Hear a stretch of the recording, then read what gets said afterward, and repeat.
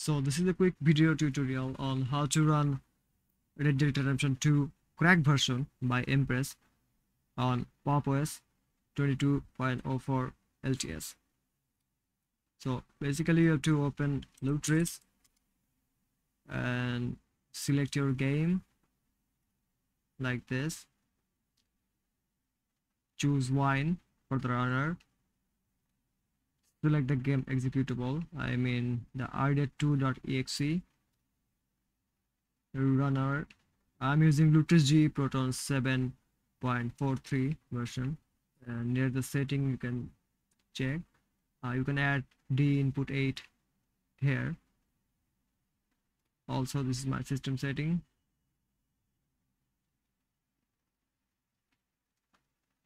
And that's it. Just add and play